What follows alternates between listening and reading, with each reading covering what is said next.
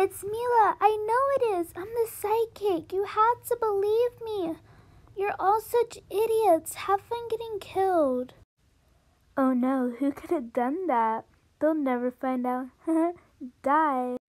You shouldn't test me, huh? Guess I'll just block some powers, huh? Sure, I'll help gladly. Teehee, oops. It's not a wise decision to vote me off.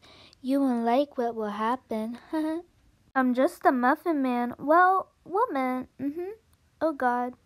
I'm scared. Are we all gonna die? There's there's no no escape. If we find out who it is, we can win.